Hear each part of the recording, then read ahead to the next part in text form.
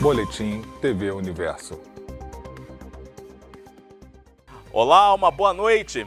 Eu peço licença para entrar na sua casa e atualizar as principais informações do Rio e do Grande Rio na segunda edição do Boletim TV Universo. Mais uma cena de terror no cotidiano de quem mora no Rio de Janeiro.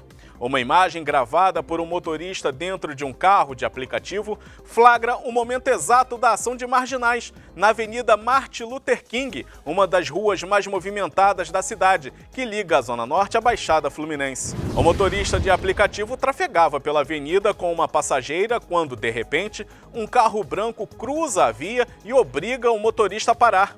Ele é forçado por dois bandidos armados de pistolas a descer e entregar os pertences. Os marginais tentam fugir, mas não conseguem tirar o carro do lugar e desistem do roubo ao ouvir uma sirene de polícia.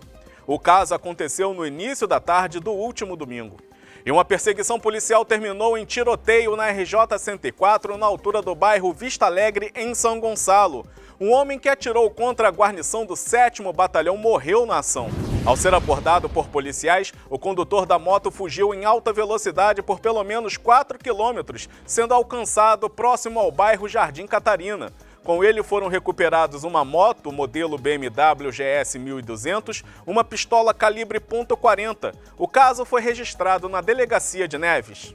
Ponto final em mais uma edição do Boletim TV Universo. Arroba TV Universo 32 são as nossas redes sociais, Facebook, Twitter, Instagram e o nosso YouTube, onde você pode acompanhar outras edições do nosso boletim.